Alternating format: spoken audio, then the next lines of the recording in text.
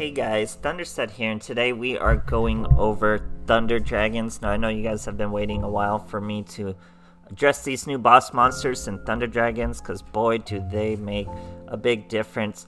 Very little about the deck itself has changed. Like I said, it's just a couple new boss monsters and our Hieratic Sun Dragon, Overlord of Heliopolis. Very weird word. And then we have our Constellar Ptolemy M7. He's the real MVP. Hieratic is good and all, and it is good use with Chaos and Duo. But uh, you're going to use Constellar M7 pretty much every duel, guys. I'm generally bringing them out every duel. Why it works so well with Thunder Dragons is because we we were doing similar things. We would get out Brionac Dragon with tuners and Thunder Dragon bodies, but now you can just summon this boy whenever you need with your normal Thunder Dragon plays. You don't have to stack a bunch of tuners in your deck, you don't have to draw into those tuners. Just generic Thunder Dragon plays can do this, and it gets even more consistent with level duplication. Then generally, M bringing out M7 is really nothing for this deck. So we've really curved the Thunder Dragons around the level dupe. You generally won't see me play the uh, Light Sworn version. The Light Sworn version was fantastic before Light Sworn were on the ban list, but now I don't really prefer it. A card you don't usually see me use in Thunder Dragons is Aloof Lupine. You know what he does. You'll banish one, you get to banish another of the same type. It's double banish for us.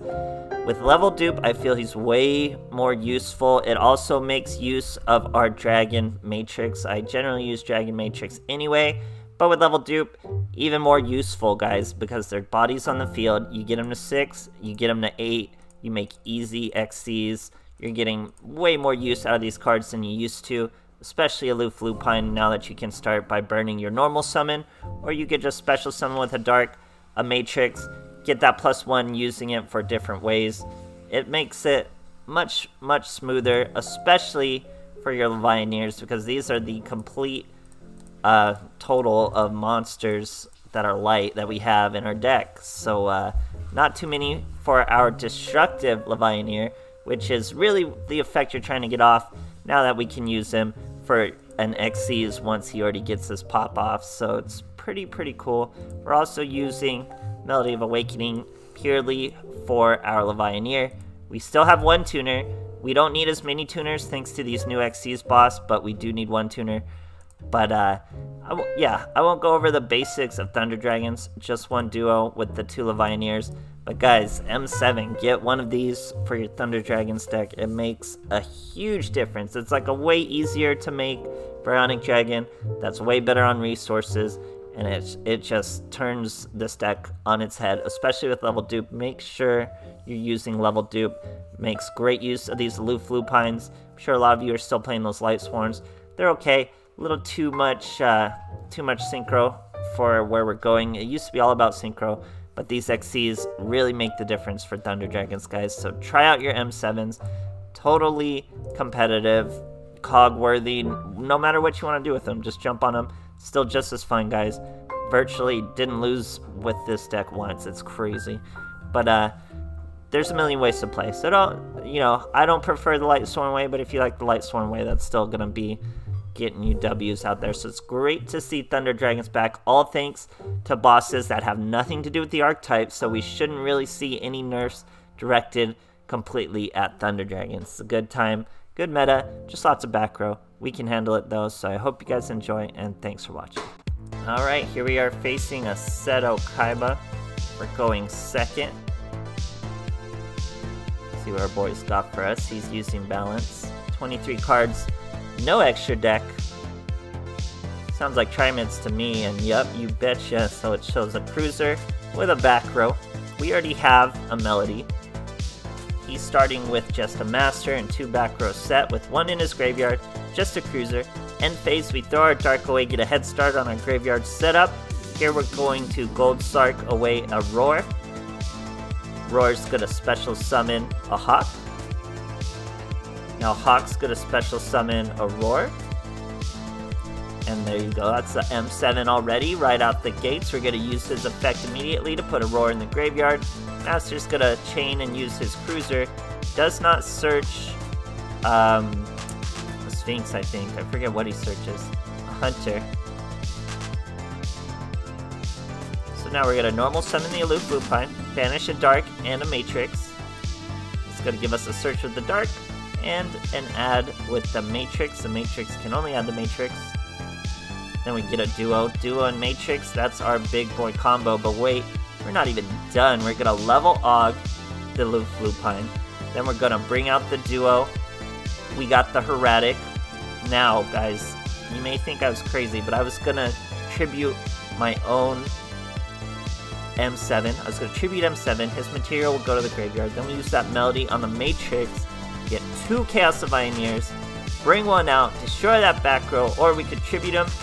Or no, we already used our tribute. Oh, just tons and tons of options. Great, great stuff, guys. Alright, here we are facing a Pegasus. Going second. He's about to catch a rank down, poor guy. 24 cards with Mind Scan, only 3 in his extra deck, so who knows what he's even doing. He's to set a back row, set a monster. We use our Dragon Dark because we do run 3 Dragon Dark. That enables this play. We already have a Dark monster in our graveyard. Top deck a Gold Sark, banish our Dragon Roar. Dragon Roar is going to start us off with the Hawk outside. Then we're going to normal summon our Glow Up Bulb. That's going to be a Black Rose wipe of the field. We also use our Hawk. We're going to get rid of that Roar and Dark in our hand. He's going to just destroy his resources with the Raigeki break. He is Witchcrafters, so I have no sympathy for him. I like to clap Witchcrafters. We bring out a Glow Bulb, just so we don't take any damage. And we already have follow-up plays with a Aloof Lupine and a Dragon Matrix, because you can banish the Dragon Matrix, and then banish any Thunder monster you want. Here, our boy uses a Holiday, brings out a Shiganetta, gets some spells in his hand. We're not afraid of him. We top deck a Chaos Hunter. We're going to normal summon Aloof Lupine banish Matrix and Dark. Matrix gives us a search. Dark does the same thing. Matrix actually just adds Matrix. Dark gives us the search of a duo, and we saw that Matrix. Duo is our biggest boy when combined with Matrix. We banish two, it was a Hawk and a Dark, so no effects trigger. Now we level dupe the Aloof Lupine, guys, that's what I'm talking about. We level dupe the Aloof Lupine. Now we have our Hieratic. He can destroy. She has to chain before we choose a target, which means we're going to be able to destroy whatever she did. We uh, tribute, what, an Aloof Lupine? Then we banish three more.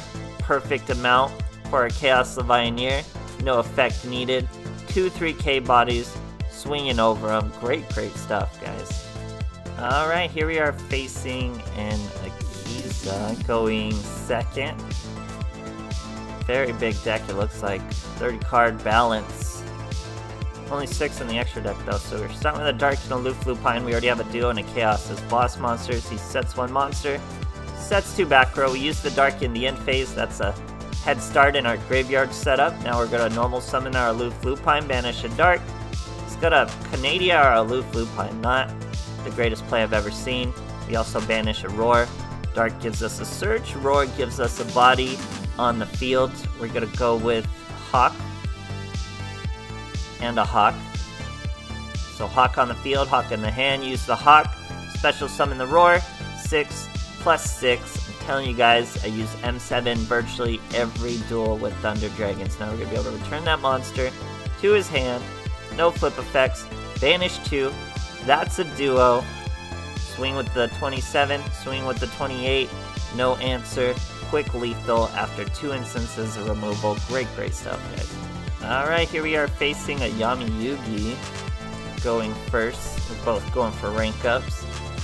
It's got pretty cool sleeve and mat there.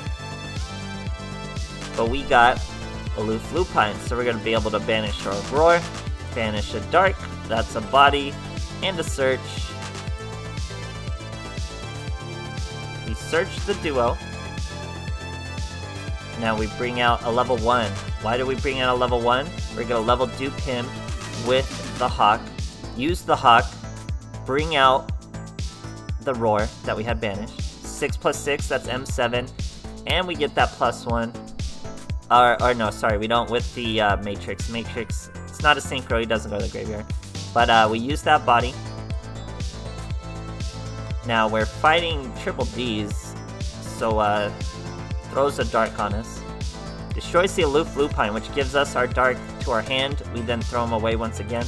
No idea why he didn't get the M7. Now M7's going to return him to the hand. He's got a bad aim and destroy her. Probably, I guess that's technically better than returning to the hand. Now our Dragon Matrix got banished by our duo. That's going to give us a Dark Search and a Matrix add. Now the duo with the Matrix in hand gets super fat because it uh, not only triggers its own effect, but obviously gains the attack. Great, great stuff. Alright, here we are facing a Sartorius, going first. See what our boys got for us. No extra deck with Master Destiny means he's not using Parshath, which is okay for us. Now, it doesn't look like the greatest hand we've ever had, but we're going to start with the Gold Sark, throw away our Dragon Roar. That's our Matrix. We tribute the Dragon Dark, tribute set the Dragon Dark. That adds a Matrix to our hand, and now we have a Light Monster in the graveyard. So here our boy uses Twin Barrel Dragon, destroys our poor little Dragon Dark. Then we get a search of a duo. Now he doesn't set any back row and has a handful of monsters, so you know for sure he has Desperado Barrel Dragon. Here we're gonna banish two. Bring out our duo. With a dark, he got banished by the duo. So we got to search a hawk. Hawk special summons roar. And we tribute the roar for another roar.